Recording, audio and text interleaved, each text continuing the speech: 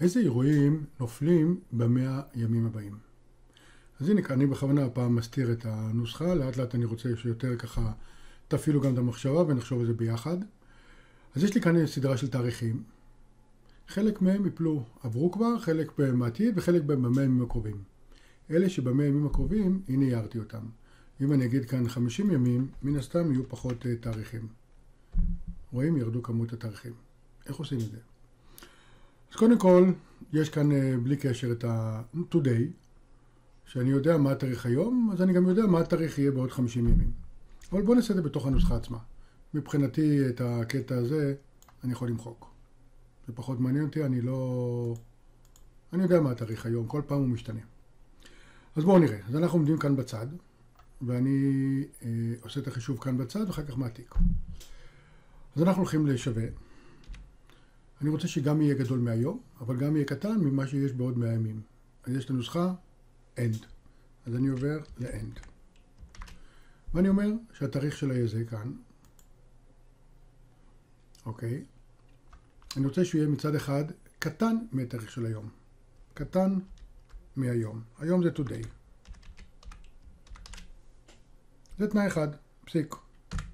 מה התנאי השני? שהוא יהיה, שהוא יהיה קטן מ-today.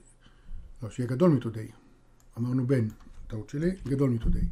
מצד שני אני רוצה קטן ממה שיהיה בעוד 100 ימים, בעוד 50 ימים. אז התנאי השני זה אותו תאריך, יהיה קטן או שווה לתאריך של today, שמתקרב לו בעוד, חמישה, בעוד 50 יום. זהו. אז זה התנאי, מבחינת לקבע רק את זה. וזהו, אז כרגע הוא ייתן לי כאן false, וזה שלידו ייתן לי true, כי ראינו שהוא עובד.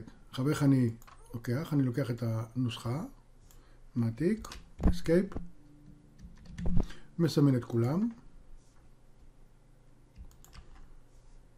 קודם כל נמחק את העיצוב הקודם, מה שבדרך כלל אתם לא צריכים לעשות, כי אין לכם את העיצובים, אני רק מדגים ואז אני מראה איך עושים.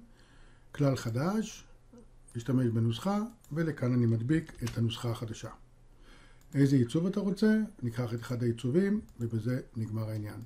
כל אותם תאים שיפלו בחמישים ימים הקרובים, או במאה ימים הקרובים, או במאתיים ימים הקרובים, בטח יהיו כבר אה, רובם הגדול, בבקשה. אז זה, הנה כאן הנוסחה לפניכם, כמו שעשינו, גדול מ-today, וגם קטן או שווה ל-today שמתקדם ב-50. רעיון נחמד, שאתם רוצים לדעת מה קורה בתקופה הקרובה, בשלושים ימים הקרובים, בחודש הקרוב, בחודשיים הקרובים, איזה צ'קים אמורים להיפרע, וככה אפשר להדליק אותם.